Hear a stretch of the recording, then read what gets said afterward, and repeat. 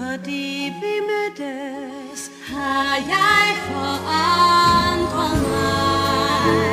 Og derfor spørger jeg dig, om du kan tilgive, om du kan glemme det, jeg sagde og gjorde. Jeg tror nu nok, det også kom fra mig. Men det, der er sket, betyder ikke skole.